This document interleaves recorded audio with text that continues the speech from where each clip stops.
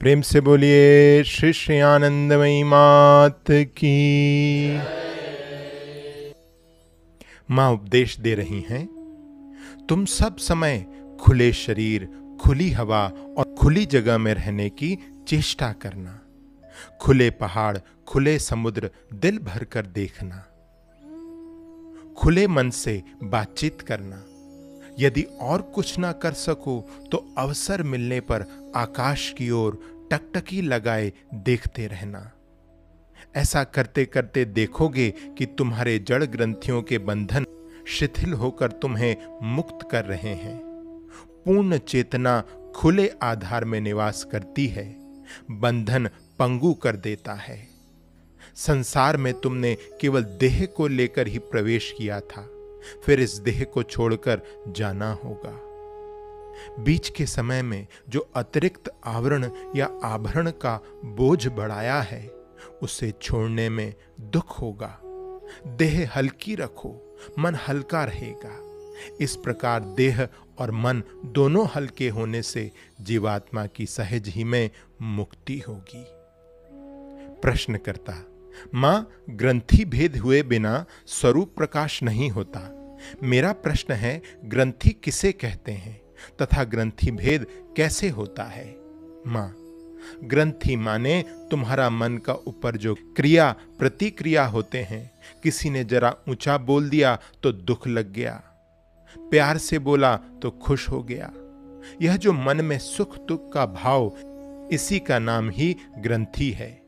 गुरु का उपदेश पालन करने से, गुरु का अनुशासन में रहने से, आदेश पालन से ग्रंथि भेद होता है।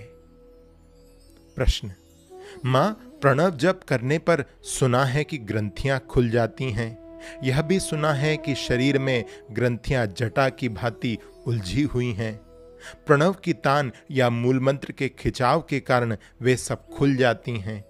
माँ, हाँ प्रणव की तान से वे खुल जाती हैं।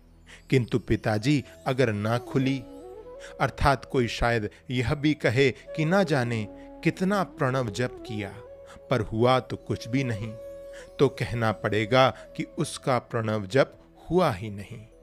हाँ, बीज मंत्र से ग्रंथियाँ खुल सकती हैं। बीजों में प्रणव है और प्रणव में बीज है। सभी के भीतर सब है। किंतु पिताजी, असली बात तो यह है कि ग्रंथियाँ ना खुलने पर समझ लेना चाहिए कि प्रणव जप हुआ ही नहीं। प्रश्न करता माँ ग्रंथियों के खुलने पर प्रणव उच्चारित होता है या प्रणव के उच्चारित होने पर ग्रंथियाँ खुलती हैं? माँ, दोनों ही एक साथ होता है। जैसे कहा जाता है कि मिट्टी पर रंभा पटकने पर वह ज़मीन में धस जाता है। और दूसरी ओर कहा जाता है कि चूँकि मिट्टी फट जाती है, इसलिए रंबा उस तरह भीतर घुस जाता है। सभी के भीतर ही सब। प्रश्न, माँ, ग्रंथि भेद कब होता है? माँ, जब तक सब वही है, यह प्रकाश ना हो, तब तक ग्रंथि भेद नहीं होता है। और ग्रंथि भेद होने पर ही वह प्रकाश होने का आशा है। प्रश्न करता, माँ, ग्रंथि क्या होती है? माँ, गांठ गांठ को ग्रंथि कहते हैं। प्रश्न करता, माँ, शास्त्रों में जिसे हृदय ग्रंथि भेदन कहा गया है, वह क्या है? देहात्म बुद्धि का छूट जाना ही हृदय ग्रंथि का भेदन है अथवा वह कोई अन्य अवस्था स्थिति है? माँ, नारायण नारायण, हृदय ग्रंथि, देहात्म बुद्धि सुंदर बात है। बाबा देहात्म बुद्धि छोड़ने से ही सब हो जाते हैं, लेकिन हृदय ग्रंथि जैसा षटचक्र भेद भी कहते हैं। ग्रंथि भेद जब तक पूर्णांग ना होए, तब तक नहीं होता है। अरे, एक बात आया, सब कोई ख्याल रखना, अपने क्रिया जो करते हैं, अपने क्रिया से ही अपने को पाया है, यह बात नहीं है। एक स्थिति होता है, स्थान होता है। उस स्थिति में जैसा बादल वर्षण करते हैं, इस माफिक क्रिया भी वर्षण होता है, शक्ति वर्षण होता है, कृपा शक्ति। और इसका बीच में जो पात्र सीधा रखे, भर जाते हैं, उल्टा रखे, बह जाते हैं। हर समय वर्षण हो रहा, जो तरीके से जो पकड़े, उसको मिलता है। इसलिए यह बात हुआ है। प्रश्न करता, माँ, ठीक से बात समझ में नहीं आया। देह में आत्मबुद्धि छोड़ने से ही क्या सब नहीं हो गया? माँ यह शरीर कहा तो सब हो जाता है, पर एक बात है एक एक स्थिति में एक एक बात होती है। तुम जो कहा ग्रंथि ग्रंथि भेद होने से देह भाव से मुक्त हो सकते हैं। यहाँ भी बात समाप्त हो सकता है, लेकिन जो तरीके से चले वह अनंत बात है।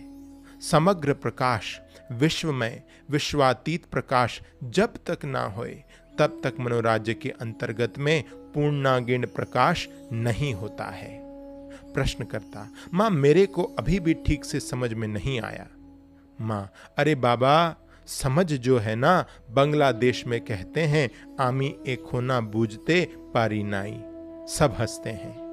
तो यह शरीर कहती है एक बोझ तुम सिर से नीचे उतारोगे और दूसरा बोझा सिर पे रख लेंगे। बोझा बोझा के बीच में प्रकाश नहीं है बाबा, समझा है ना?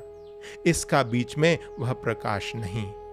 मनोराज्य के अंतर्गत में समझ ना समझ का बात आता है। देहात्म बुद्धि ग्रंथि भेद से छूट सकते हैं, लेकिन बुद्धि नहीं जाते हैं। मनोराज्य के अंतर्गत में है ना? और आगे समग्र प्रकाश के लिए क्रिया हो सकते हैं। संपूर्ण ग्रंथि भेद जब होए, तब समझ सकते हैं। मूल ग्रंथि जो है, वो ग्रंथि अगर ठीक भेद होए तो समग्र नित्य पूर्णांगीन प्रकाश।